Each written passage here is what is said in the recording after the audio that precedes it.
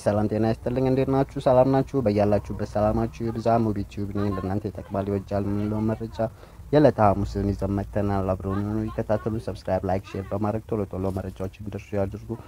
ጠቃሚ ይሆናሉ ብለን የመራረጥንላችሁን መረጃዎችን ይዘን ተገኝተናል። እስከ መጨረሻው ከኛ ጋር እንድትሆኑ እየጠየቅን አስቀድመን ግን በዝርዝራችን ያካተትናቸውን መረጃዎችን እናስታውቃችሁ።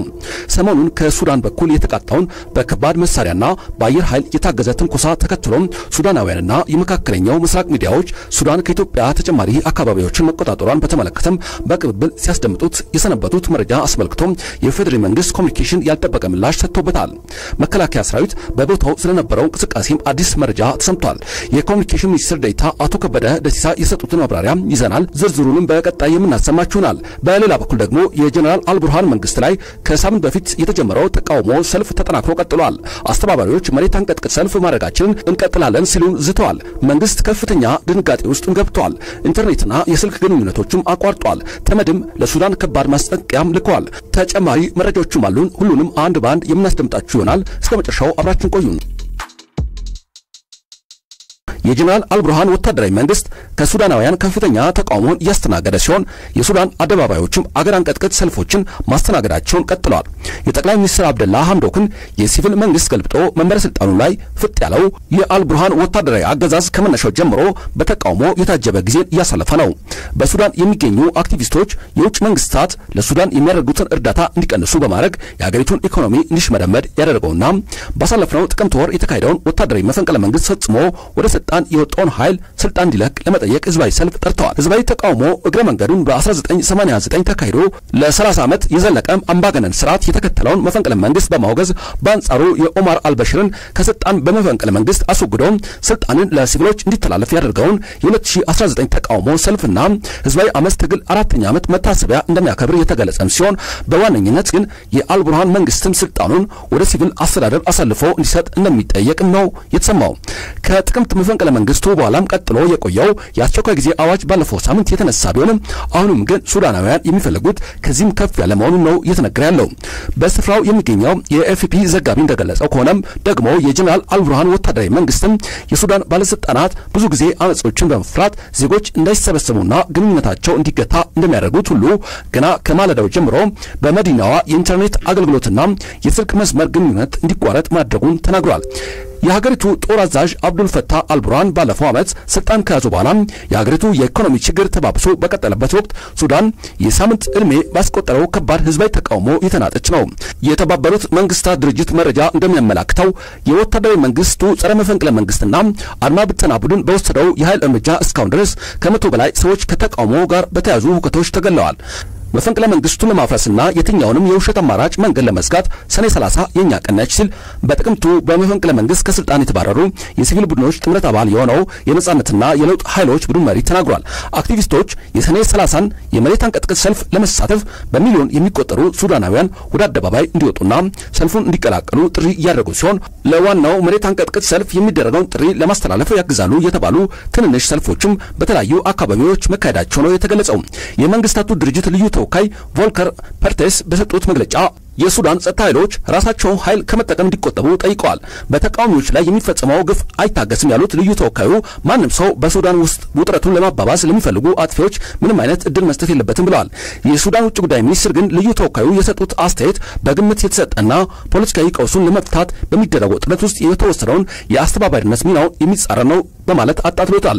ከአፍሪካ ህብረትና ከምስራቅ አፍሪካው ኢጋድ ጎን ለጎን የተባበሩት መንግስታት ድርጅት በጀኔራልና በሲቪሎች መካከል ድርድር ለማካሄድ ቢሞክርም ሳይሳካለት ቀርቷል።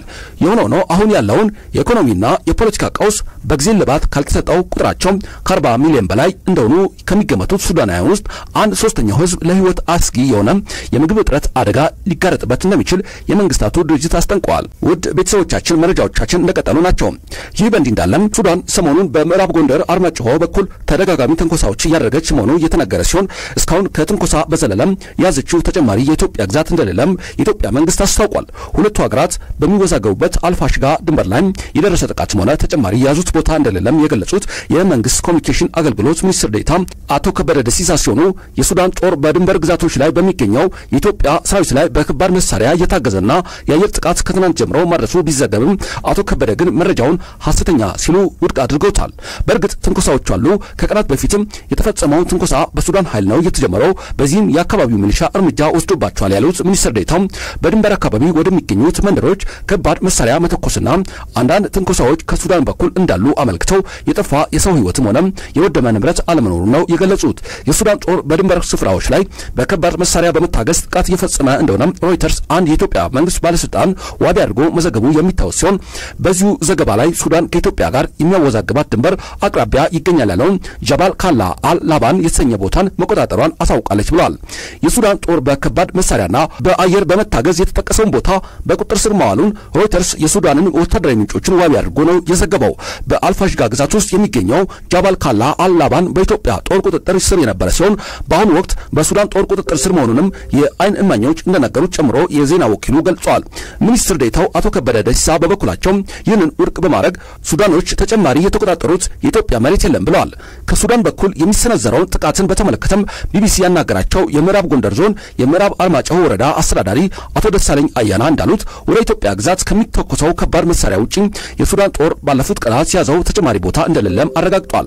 ሱዳን ከዚህ ቀደም በኢትዮጵያ ቁጥጥር ስር የነበሩትን ሰፊ ለም የእርሻ መሬቶችን የያዘውን የአልፋሽጋ አካባቢን መቆጣጠሯ ይታወሳል። ከአንድ ዓመት በፊት በሰሜን ኢትዮጵያ ጦርነት በተቀሰቀሰበት ወቅት እንደ ጥሩ አጋጣሚ በመጠቀም ሱዳን ግዛታችን ወራ ተቆጣጥራለች በማለት አስታውሰዋል። ኢትዮጵያ ከእነዚህም ግዛቶች ሱዳን ጦሯን እንድታስወጣም በተደጋጋሚ ብትጠይቅም ሱዳን ግን የቀደሙ ግዛቶችን ነው ያስመለስኩት በሚል እንደማትወጣም አስታውቃ ነበርም። ከቀናት በፊት የሱዳን ጦርና የውጭ ጉዳይ ሚኒስትር እንደገለጹት ከሱዳን ግዛት የተወሰዱ ወታደሮቻቸው ወደ ኢትዮጵያ ከተወሰዱ በኋላ ተገለዋል፣ እንዲሁም አስከሬናቸው በአደባባይ እንዲታይ ተደርጓል ሲል ክስ ማቅረባቸው ይታወሳል። የኢትዮጵያ መከላከያ ሰራዊት የሱዳን ምርኮኞቹን በአደባባይ ገድለዋል በሚል የሱዳን ጦር ያወጣውን መግለጫ መሰረት የሌለው ነው ሲል ውድቅ አድርጎ የመከላከያ ሰራዊት ግጭቱ በተነሳበት ስፍራ እንዳልነበረና የኢትዮጵያ ግዛት ዘልቆ ገብቷል ያለው የሱዳን ኃይል ከአካባቢው ሚሊሻዎች ጋር ተጋጭቷል ሲል ጦሩ ባወጣው መግለጫ አመልክቷል። ሚኒስትር ዴኤታው በበኩላቸው ከቀናት በፊት የሱዳን ጦር የህወሓት ታጣቂዎችን ይዞ ለመግባትና በእነሱ ድጋፍም ለመግባት ተሞክሯል ያሉ ሲሆኑ በዚህም የአካባቢው ሚሊሻዎች መከላከላቸውንና ጥቃትም እንደተፈጸመባቸው አክለው ገልጸዋል። ይህንን ክስ አስመልክቶ ህወሓት ባወጣው መግለጫ አገዛዙ በአገሪቱ ውስጥ እየሆነ ካለው አሳፋኝ ሁኔታ ለመሸፋፈን ትግራይን እንደ መጠቀሚያ አድርጓታል። የሱዳን ኃይሎች ወደ ኢትዮጵያ ግዛት በገቡበት ወቅት የትግራይ ኃይሎች ተቀላቅሏል የሚለው የሰሞኑ ውንጀላ የአገዛዙን ቅዠት የሚያሳይ ነው በማለት ክሱን አጣጥሎታል። የኢትዮጵያ መንግስት ከሱዳን ህዝብ ጋር ምንም አይነት ግጭት ውስጥ መግባት አይፈልግም፣ ሰላም የመጀመሪያ አማራጩ አድርጓል፣ በተለያዩ መንገዶችም ግንኙነቶች ነበሩ ብለዋል። የድንበር ግጭት ሲነሳ እንዴት መፈታት እንዳለበትም ቀደም ብሎ ተስማምቶበት የነበረ ጉዳይ መኖሩን አቶ ከበደ ጠቅሶም ከዚህ ያለፈ የተለየ ነገር የለም ብለዋል። በቀጣይም ኢትዮጵያ የሰላም አማራጭን በዋነኝነት ብታስቀምጥም ሰላም ስለተፈለገ ብቻ አይመጣም፣ በአንድ ወገን ብቻ አይረጋገጥም። እኛ ከዚህ አልፎ የሚመጣውን ለመመከትና የአገሪቷን ሉዓላዊነት ለማስጠበቅ በቂ ቁመናና ዝግጅት አለን ብለዋል። አክሎም ዝም ብሎ ኢትዮጵያ ገብቶ እንደፈለጉ አድርጎ የሚወጣበት አጋጣሚ አይኖርም። የህዝቦቿን ደህንነት ለማረጋገጥ ማንኛውም እርምጃ በመውሰድ ራሳችን